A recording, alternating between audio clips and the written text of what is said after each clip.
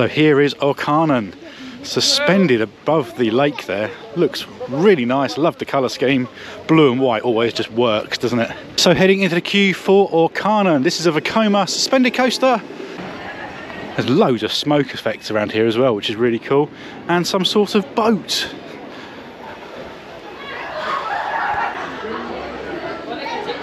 Well, I guess Orkanen has a fishing theme based on the boats, the fishing nets full of starfish, and the hanging fish. Hope they're at least being smoked.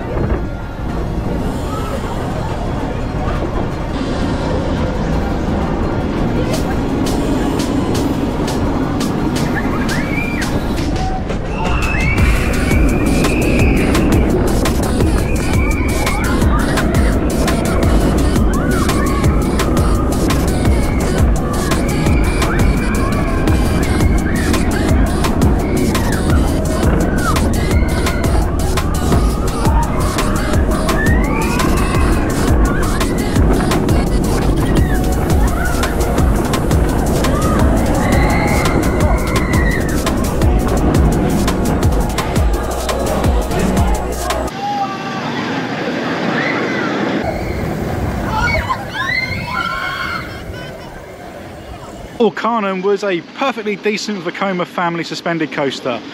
Had a, lot of the hits that you usually get with Vekoma. Uh, the drop was fine into a tunnel with loads of steam effects, so the POV might have just got clouded up at that point. I don't know. However, the overbank coming out of the uh, off the drop, really cool, quite forceful there. Uh, the helices pulled a lot of G-force and there was a weird little ejector airtime moment towards the end of the ride as well, which was uh, unexpected, but overall fairly good. Um, another two lap special there. They really do love sending people around for re-rides here, which is uh, which is cool. So yeah, quite happy with that.